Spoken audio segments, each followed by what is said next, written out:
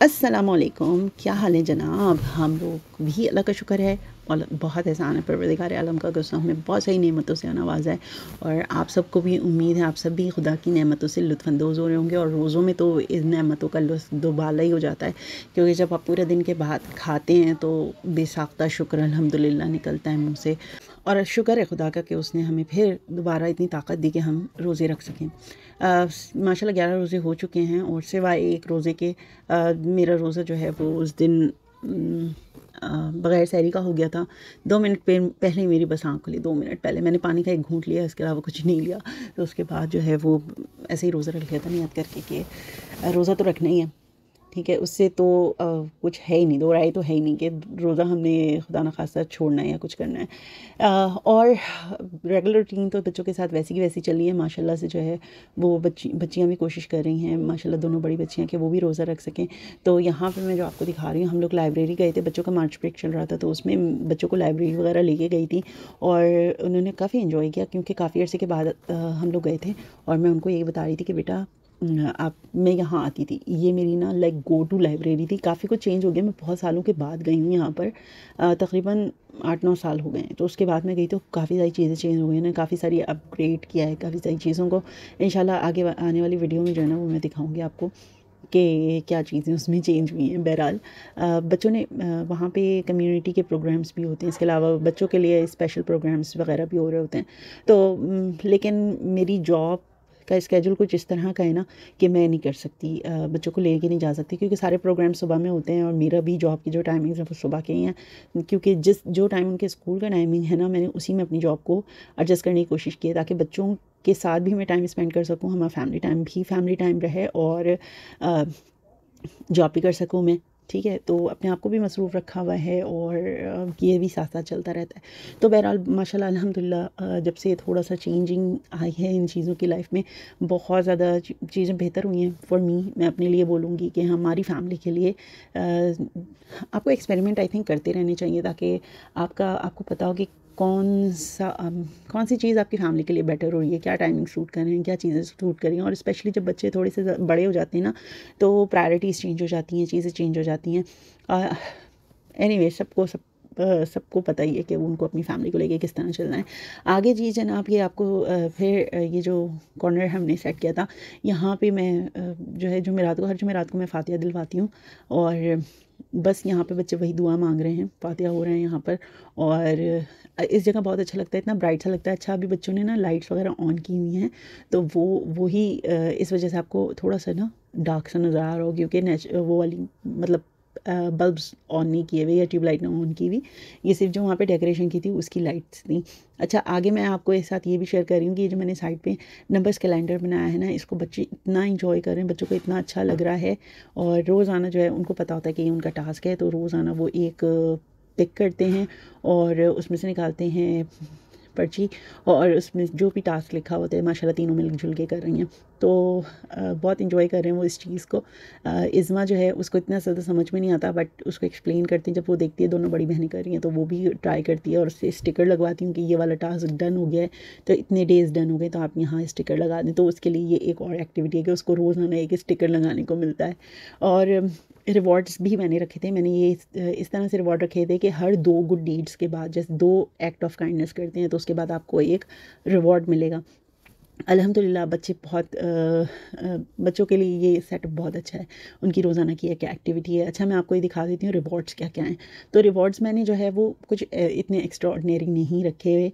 ये कॉइन्स वाली जो चॉकलेट्स हैं ना, ये बच्चों को बहुत पसंद है। इसलिए नहीं क्योंकि इनका टेस्ट बहुत अच्छा होता है या अमेजिंग होता है, इसलिए क्योंकि ये कॉइन्स बने हुए तो ये मैंने इस तरह से ले ली थी और ये मैंने ऑल्टरनेट डेज़ पे सेट की थी। इसके अलावा आप बड़ी वाली चॉकलेट्स देख रहे हैं तो ये वाली मैंने बड़े टास्क के लिए रखे कि जिस दिन इनको काफ़ी एक दो टास्क मैंने इसमें डिफ़िकल्ट रखे हैं तो वो जिस दिन मैंने जिस जिस तरह के वो टास्क रखे हुए हैं तो फिर उसके लिए ये बड़े थोड़े से जो रखे हुए हैं रिवॉर्ड्स वो दूँगी मैं। आ, और इसके साथ साथ प्लेडो है ये बात प्लेडो है तो ये भी फ़न है। तो तीन इस ये ले लिए हैं और इसके अलावा कैंडीज़ वगैरह हैं और पेंटिंग का सामान है क्राफ्टिंग का सामान है, क्योंकि इसके अंदर एक दो टास्क ऐसे हैं कि डू समथिंग विद फैमिली तो वो क्राफ्ट वगैरह उसमें यूज़ हो सकते हैं और पेंटिंग वगैरह इन को बहुत शौक है। मतलब सारे बच्चों को होता है तो उनसे एक एक पेंट पेंटिंग बनवाऊँगी ताकि वो लोग अपने कमरों में लगा सकें। तो ये सारा, ये सारी चीज़ें गुडी बैग्स में जाएँगी और इसके बाद मैंने बच्चों की जो फ्रेंड्स हैं ना, उनके लिए रमज़ान के गुडी बैग्स बनवाए थे तो उसके लिए ये आप जो देख रहे हैं तो मैंने प्रिंट आउट नहीं किया, आप प्रिंट आउट भी कर सकते हैं। मैंने क्या किया है कि मैंने ट्रेस आउट कर लिया था। आपको मैं वो ट्रिक भी बता दूँगी कि किस तरह ट्रेस आउट किया था। उसके बाद मैंने कंस्ट्रक्शन जो पेपर्स होते हैं, उनको उनको यूज़ करके और इस तरह से मैंने बच्चों के साथ मिलकर ये गुडी बैग्स बनवा लिए ताकि वो अपनी फ्रेंड्स वगैरह को दे सकें। तो उनके ऊपर किसी पे मस्जिद लगा दी गर्ल्स के जो थे उन पर फ्लावर्स वगैरह बना दिए बॉयज़ के जो थे उसके ऊपर मैंने मस्जिद का सा स्टाइल दे दिया और इसके अंदर गुड टास्क भी थे। टास्क थे, इसके अलावा रिवॉर्ड्स थे और हैंडमेड कुछ बना के रख दिया था। अच्छा मैं जल्दी की वजह से ना शेयर नहीं कर सकी कि मैंने उसमें क्या क्या डाला था बट वॉज़ माशाल्लाह से वेरी फ़न और माशाल्लाह से तीनों बच्चियों की क्लास में स्पेशली बड़ी दो बच्चियों की क्लास में ना काफ़ी सारे मुस्लिम बच्चे हैं तो उनको बहुत अच्छा लगा। और इस तरह से ना शेयरिंग की आदत डालते हैं हम बच्चों को या गिफ्ट्स देना या देना किसी को एक कॉमनली बात करूँगी ज़रूरी नहीं कि गिफ्ट्स दें या कुछ दें। आप इन छोटी छोटी चीज़ों से ही गोल सेट करते हैं उनके फ्यूचर के लिए उनको ग्रेटिट्यूड आना चाहिए। सो so, ये वाली जो सारे गिव आउट किए थे मैंने छुट्टी के टाइम पर किए थे ताकि और दूसरे बच्चे महसूस नहीं करें इतना ज़्यादा तो उनके पेरेंट्स जो होते हैं उनसे हाय हेलो सलाम दुआ रहती है तो वो मिलते तो उनके उनके उनके सामने उनके हाथ में दिया था ताकि एक जो वो कनेक्टिविटी है ना वो रहे और माशाल्लाह बच्चियाँ बहुत मोटिवेट होती हैं कि भाई हमारी क्लास में वो भी रख रहा है, रोज़ा तो हमें भी रखना चाहिए। तो इस तरह से एक माशाल्लाह माशाल्लाह से ये एक थोड़ा सा लिंक बन गया है। तो इरज तो इतने ज़्यादा नहीं रख पा रही, माशाल्लाह, इंशा जो है वो सारे रोज़े रख रख रही है, सिवाय एक रोज़े के जिसमें मेरी सैरी में आँख नहीं खुली और काफ़ी लंबे माशाला से रोज़े हो जाते हैं। तो मैंने उसको फोर्स भी नहीं किया और ना मैंने उससे बोला कि बेटा तुमने रखना ही, रखना है ये रोज़ा। तो उनको, वो मैंने उनको जो है, वो थोड़ा सा रिलैक्स दे दिया उस दिन। तो इसके अलावा स्कूल में, इंशा के स्कूल में तो माशाल्लाह मस्जिद भी है। मस्जिद क्या, वो एक प्रेयर कॉर्नर है तो वहाँ पे वो उनको ले जाते हैं और सब लोग नमाज़ वगैरह वहाँ पे पढ़ लेते हैं। और अब यहाँ पे आप जो देख रहे हैं, यहाँ पे सब लोग वेट कर रहे हैं अफ्तारी का टाइम हो रहा है और माशाल्लाह इन बच्चों के जो आप देख रहे हैं ना, थोड़े डल डल से चेहरे इन सब के जो है रोज़े हैं बड़े जो तीन बैठे हुए हैं, इनके रोज़े हैं। तो ये लोग जो है, वो अफ्तारी का वेट कर रहे थे और इंशा, इरज इज़मा जो है सॉरी इन लारैब जो है, वो तंग कर रही थी मुस्तफ़ा को, क्योंकि मुस्तफ़ा के पास आई थिंक फ़ोन नहीं था और उससे वक्त नहीं काटा जा रहा था। तो बहरहाल ये बिल्कुल लास्ट लास्ट मिनट के हैं तो हम, मैं दोनों को यही समझा रही थी बेटे इतनी मीन नहीं होते। और, उसके बाद जनाब ये आ जाते हैं, हम यहाँ पर कि खाने में क्या है, इस तरह से खाने में आप देख रहे हैं, माशाल्लाह से। पाए बने थे सर्दियाँ थी तो अम्मी पाए बहुत अमेजिंग बनाती हैं अमेजिंग अमेजिंग अमेजिंग पाइज बना, पाया बनाती हैं अम्मी।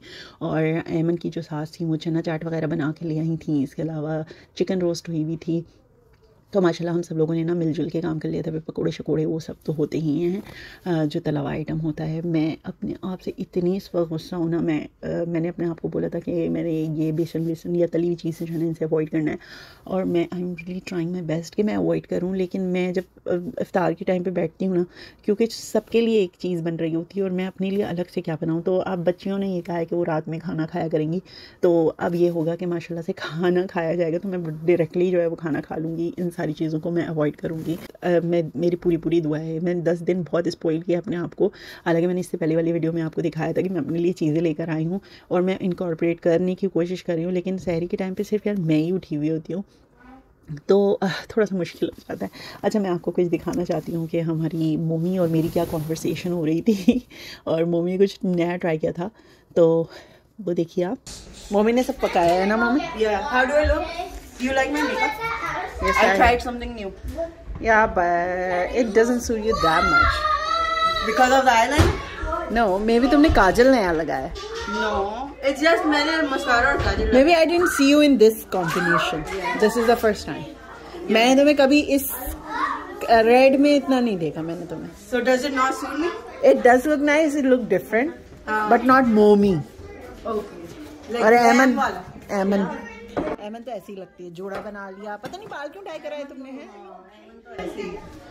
ये आई भी ऐसी थी दुनिया में। दुनिया में हम सब इससे बुरे आदात में अच्छा उसके बाद खाना वाना खा लिया गया था और खाना खाने के बाद जो है वो थोड़ा सा हम लोग रिलैक्स कर रहे थे नमाज़ वगैरह पढ़ ली। अच्छा मैं ना थोड़ा सा खा कर ना मैं राइट अवे नमाज़ पढ़ती हूँ और उसके बाद मुझे भूख लग रही होती है तो फिर मैं अपना खाना कंटिन्यू करती हूँ। आप में से कौन कौन ऐसा करता है? प्लीज़ ज़रूर मुझे बताइएगा कि क्या सिर्फ़ मैं ही ऐसी हूँ या बहुत सारे लोग ऐसे हैं? कि वो इस तरह से करते हैं, क्योंकि मुझे ऐसा लगता है अगर मैं राइट अवे नमाज़ नहीं पढ़ूँगी ना तो मैं फिर नमाज़ नहीं पढ़ सकूँगी। आई मीन फिर मेरी, फिर बहुत लंबी चली जाती है। तो इसलिए मेरी राइट अवे कोशिश होती है कि मैं फ़ौर फ़ौर नमाज़ पढ़ूँ। और यहाँ पे आप जो देख रही हैं ना, ये लारिया और इंशा जो हैं, इन दोनों का कुछ ना कुछ चलता रहता है। ये जो लारिया कपड़े पहनी हुई ना, इसके अंदर ये छोटे छोटे मिरर्स लगे हुए हैं। तो इसमें दोनों अपने आप को देखने की कोशिश कर रही हैं। एनीवेज यहीं पर मैं अपनी वीडियो का अख्ताम करती हूँ। उम्मीद है आप लोगों को जो है वो परवरदिगार आप लोग को और तोफ़ी दे कि आप और अच्छे तरीके से रोज़ी रख सकें। और हमारे अंदर इन रमज़ान, इस रमज़ान की बरकत से ना कोई बहुत अच्छी चीज़ें हम लोग अपने आप में पैदा कर सकें। ठीक है जनाब, फिर मिलेंगे इन अगली वीडियो में। और जब तक के लिए आप सब लोग मुझे अपनी दुआ में याद रखिएगा। मैं सबको दुआ में याद रखूँगी। फ़ी अमान अल्लाह।